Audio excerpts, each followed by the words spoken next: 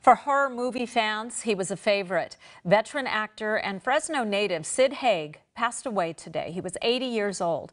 Although his career took him away from Fresno years ago, he often returned. And in 2010, I had the pleasure of talking to him. Howdy, folks.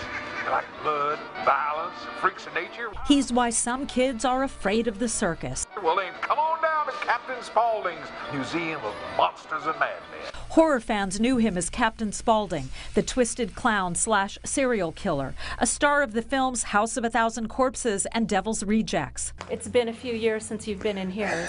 Quite a few, yeah. But face to face, Sid Haig wasn't really scary at all.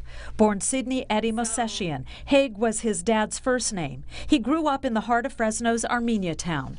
You know the um, exhibition hall? Yeah. Okay.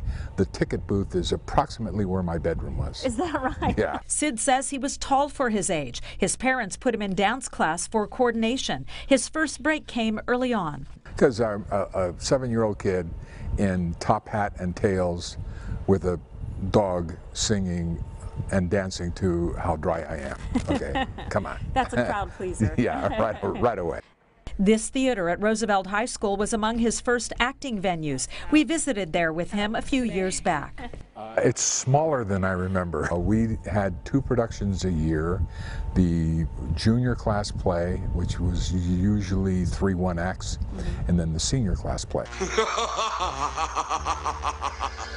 Since the early 60s, he appeared in dozens of movies, hundreds of classic TV shows Get Smart, The Lucy Show, The A Team, usually playing the bad guy. He got out of the industry for a time, but an interesting script lured him back. And that was Rob Zombie's House of a Thousand Corpses.